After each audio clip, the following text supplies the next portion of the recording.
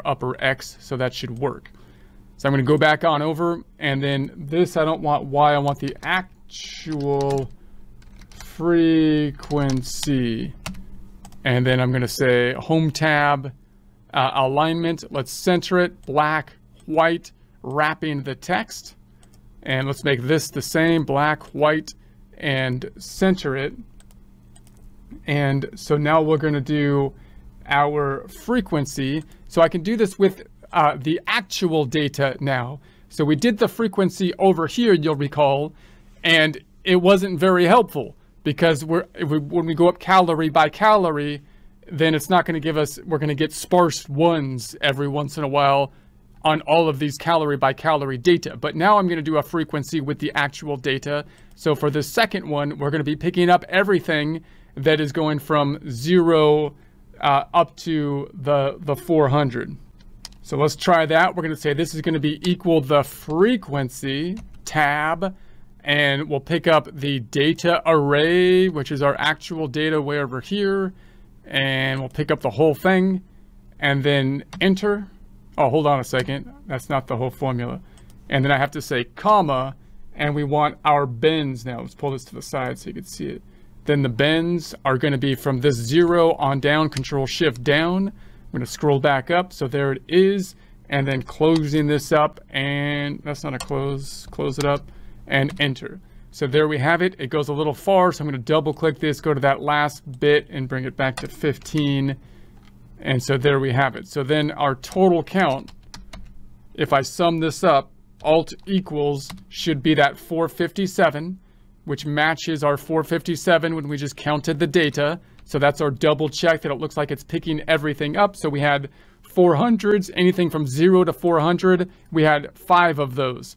Anything from above 400 to and including 814, and then six from 800 to 1,200, and so on and so forth. Now we might want to do a percent of the total in our bucket, so we can also do that this way percent of total. And I'm going to say this is going to be font group black, white. Let's wrap it. Let's center it. This is going to be equal to this number divided by the total now, which is that 457 F4 on the keyboard, making it absolute dollar sign before the N and the 17. Enter. Let's percentify it. Home tab, number group percentify, adding some decimals and then double click the fill handle to take it on down. I don't want the 100 to be just doing this divided by this, so I'm going to say delete that and instead sum up to get that 100 alt equals for our check number. There's our 100 uh, that checks out. So we can do that. Now, I also want to group my P of X's. I could do this a couple different ways. Uh, I, I could say, well, look, I want to get all of my P of X's that go from negative to zero. That's going to be my first bucket. And then all of my, all of my P of X's that go from, uh, that, that go from uh, 0 to 400 and so on. Now, this isn't the perfect way to do it because you might say, well, then it's, you're like summing up. You're summing things up. But again, this is where it comes into play that because these are such, we're using such small units, uh, we're going to get pretty close to the to the actual answer, even though we're kind of summing this up, and then we'll show another way to do it uh, as well.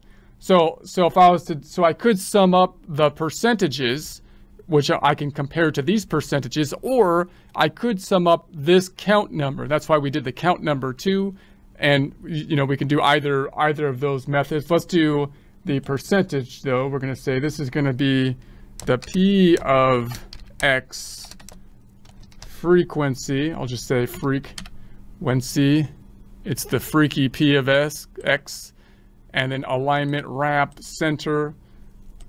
Okay, so to do this, we could use like a sum if uh, formula. So I could say something like this equals sum if S, because there's going to be some ifs, and then brackets, that's the one we want. The sum range, the range that we want it to be summing, is going to be this one. So I'm going to put my cursor in the P of X on the percentages, control shift down. I don't want to pick up the total, so shift up.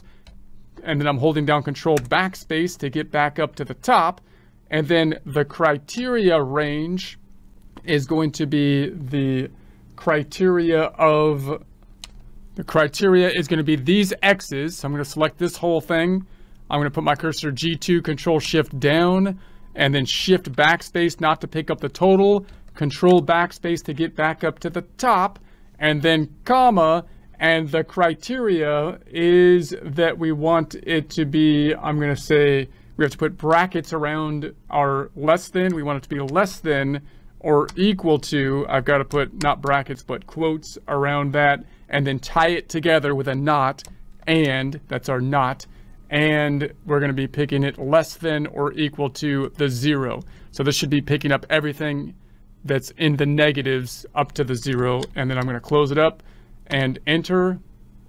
And so we have, let's make a percent home tab number group, percentifying it, add a couple decimals. We're at the 0.36.